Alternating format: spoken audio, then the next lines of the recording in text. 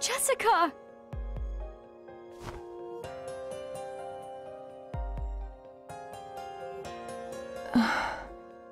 Ashley, Are you okay? I think so. But I'm dizzy. Everything is foggy. I'm so sorry I let you go alone. It was selfish. This is all my fault. Are you hurt? No, I'm okay. I'm so glad you're safe. Handcuffs?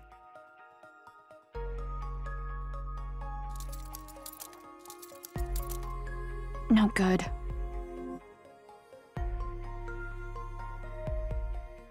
Thanks. I found them outside. I was so worried about you. Everything suddenly went dark. I must have been knocked out. When I came to, I was handcuffed to this beam. That's horrible. Who would do something like that? Bill.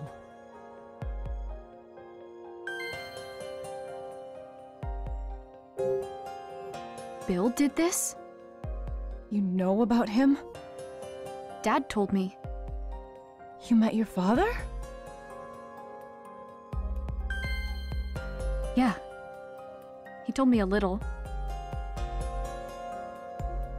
He was my assistant and is absolutely brilliant. But he betrayed me. He tried to steal the research we did on this island.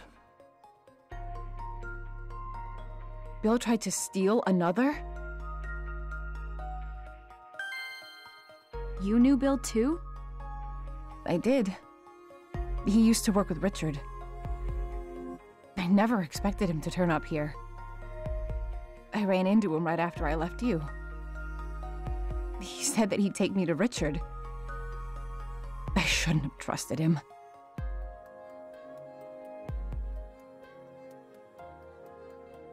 He knocked me out somehow once we got to the mansion. I had no idea. But wait. Dad said he caught Bill. Regardless, I'm so glad you finally met Richard. Yeah. I found him. I asked him about another. And about Mom. He told you what happened? Yeah. We talked about it. It's a right pity that Jessica is either concussed or drugged and not fully thinking things through because this conversation. So that's my dad, huh? What do you mean? Where is he? I was with him earlier. But he went off to do something else. Do something else? He left you alone? Yeah. He said he had to go start another. Jessica. About Dad, he. He definitely cares way more about his research than us. That's not. He said so. He told me he has to finish another. For Mom. Richard said that. Really? Yeah. Please, please, Jessica, be more forthcoming with your doubts.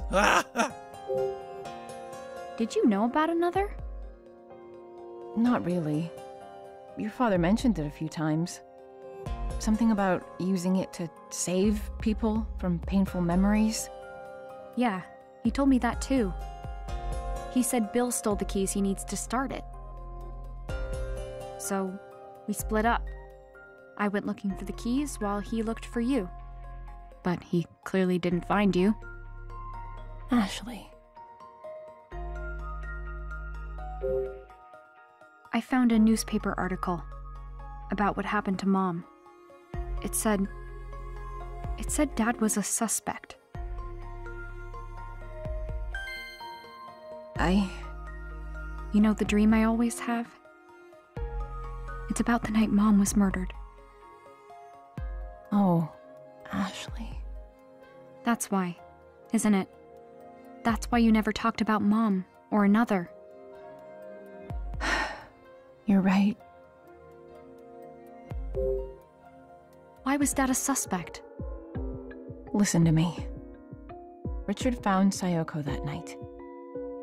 And because he was at the scene of the crime, he was a suspect. Right. He kept telling them he was innocent, and with no other evidence, they released him.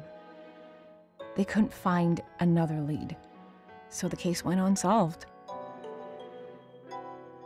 The false accusations devastated Richard. I confronted him as soon as he was released from custody. I asked outright if he killed Sayoko. He looked me right in the eyes and answered without a hint of guilt.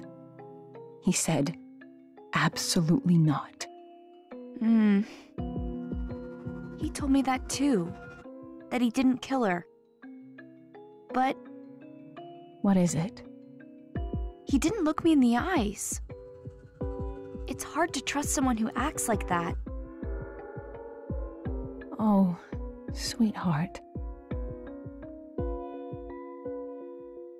I'm just over all this. He isn't my dad. Can't we both just leave here? Together? I'll get those cuffs off you as soon as I can.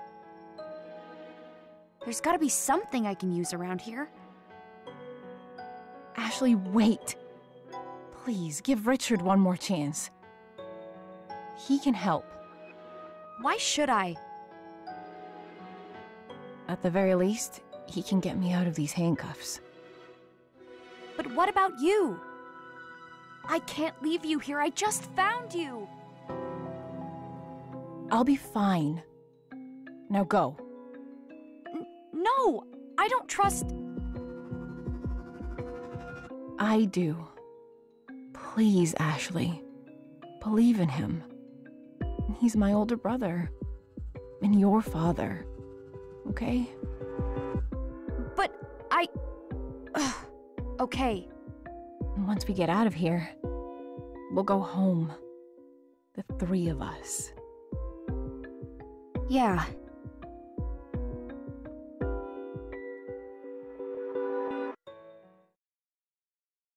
You'll be safe here, right? I'll be right back with Dad. Yes, I'll be fine.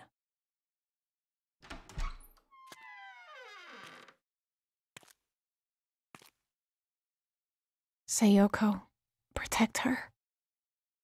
Please.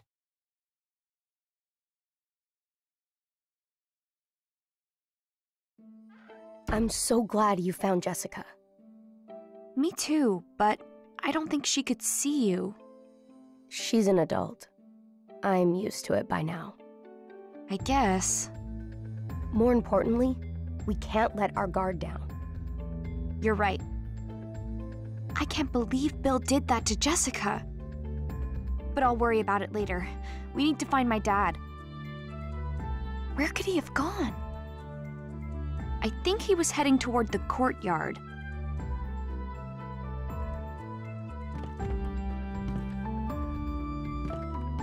Okay, now we know that there is an additional room up the stairs and like in the courtyard, but I don't think I have the key to get there, and I suspect that's where the game is going to direct me next when I inspect the door. At the very least, I sincerely hope that my having activated the DAS isn't going to be the key to get me into the room. If it is, I might have to immediately turn around. No good. It's locked. Ashley, look. There's a ladder on the other side of the door.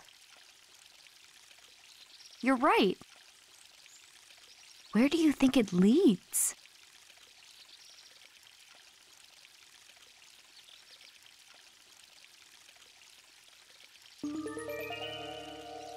That's the door to my great grandfather's room.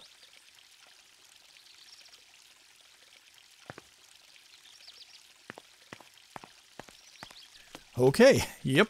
Once again, I'm just getting ahead of the plot, and I forgot that we are in a new chapter. I was not expecting uh, chapter 4 to take only 30 minutes, but I should have really remembered that because the original game had that same kind of pacing too, like especially towards the end.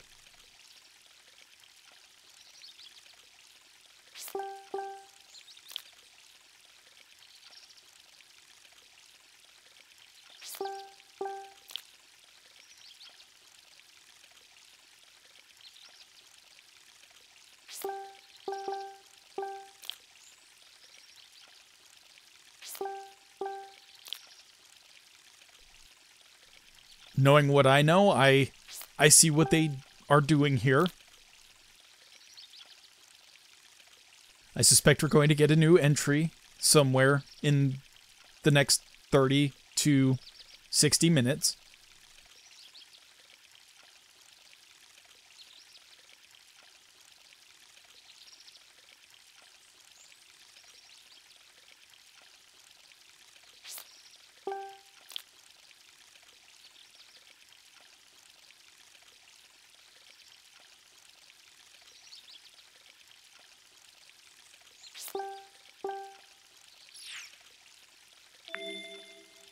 Wait. I missed one? Okay, I, I back to the character screen.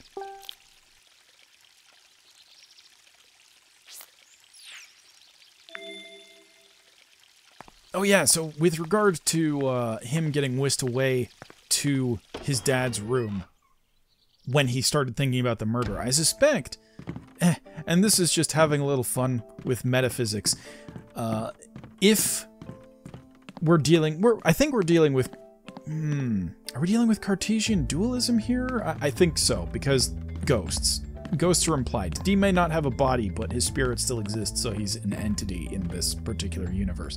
So, because he is made specifically of metaphysical stuff, or, you know, ectoplasm, as it were, uh, I believe that him focusing on his dad's murder is what drew him to the place.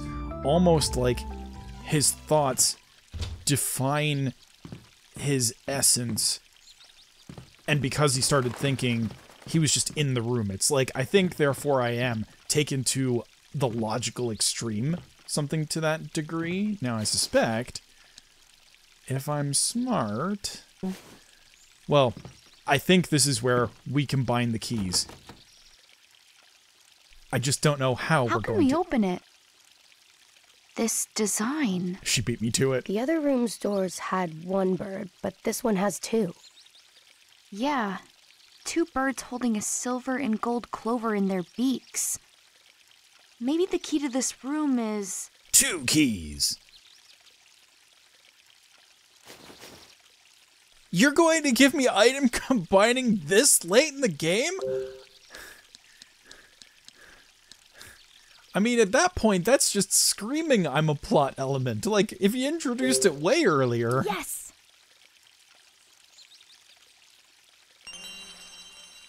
Yep. Yep.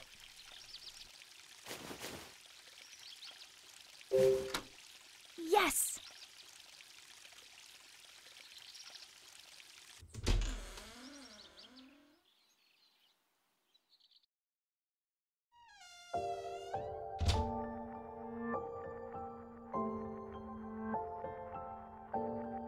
Check out the view. Where's the ladder? Shouldn't it lead to this room?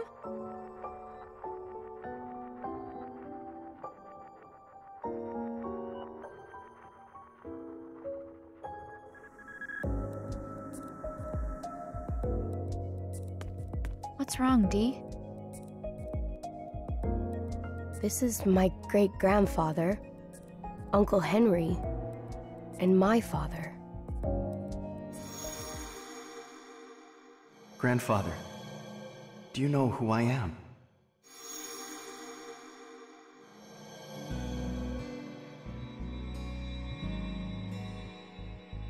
I remember.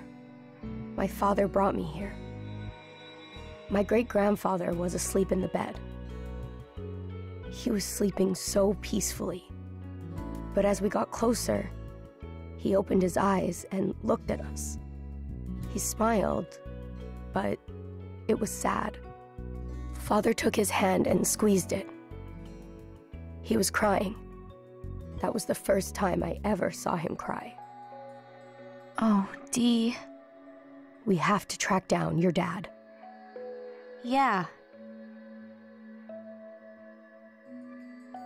Where's the ladder we can take back down?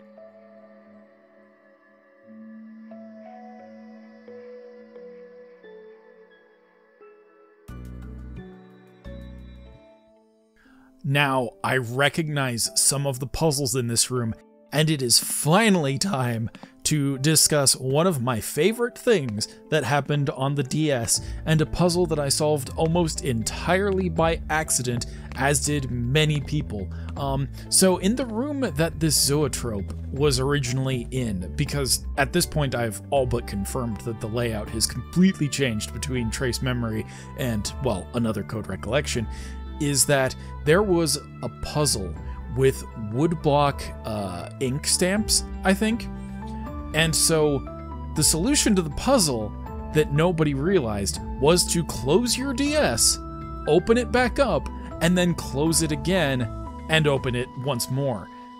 And that was just the most innovative thing that I'd ever seen done on the DS because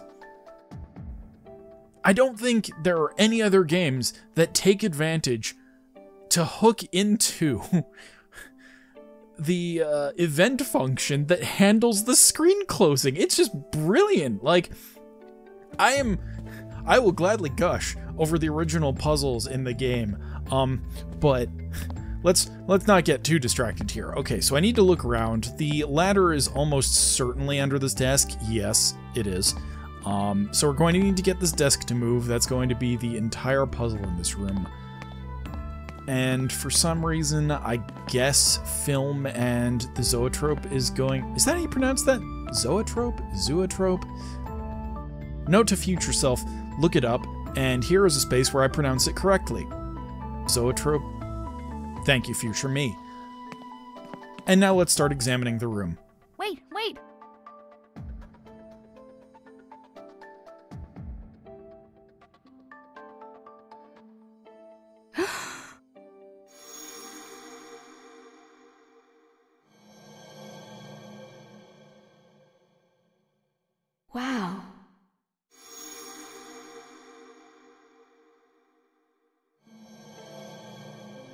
Ashley.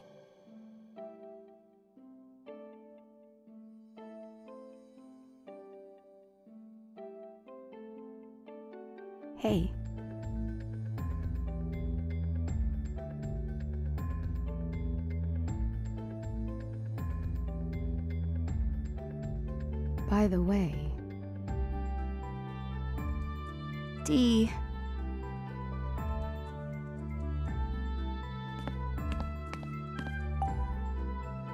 This is. yeah,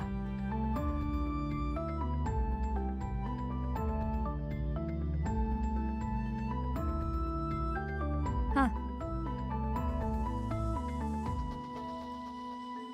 Well, if I had to guess, even at the time, like, I don't know if you could get, like, movie theater movies, you know, like acquire their reels to be projected. So I suspect that a lot of this is, you know, home movies. And that's more likely something that happened, I guess, especially in a wealthy family like this. I mean, but then again, in a wealthy family like this, maybe they could have afforded to buy some of the movie reels at the time. Eh, maybe I'll look that up later, and if so, uh, then there might be some stuff on screen about that right now.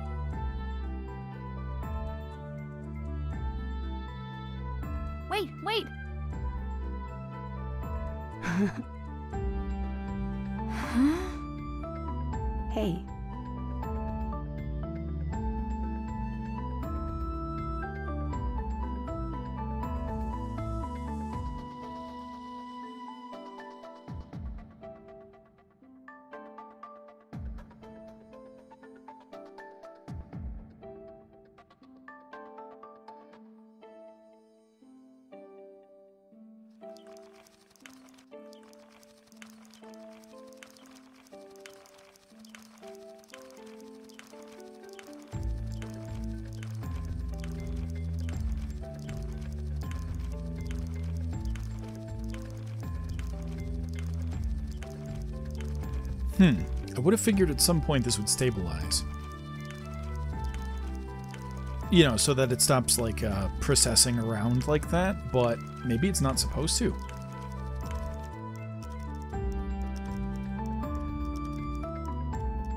I mean, it would at the correct RPM, but the game doesn't want us to do that, I guess. Huh.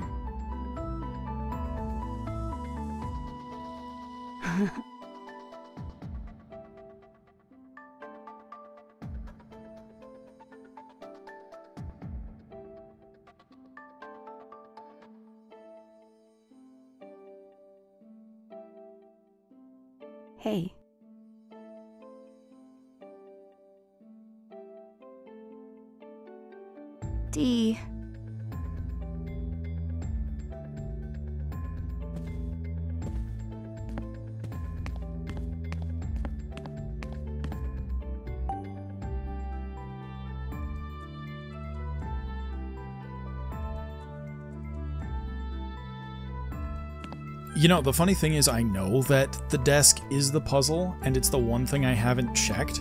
So I'm gonna save that for next time. Uh, this will be the end, probably, of session 6, part 2. Uh, I hope you enjoyed this video. I hope you enjoyed part 1 uh, after I'm done editing that as well.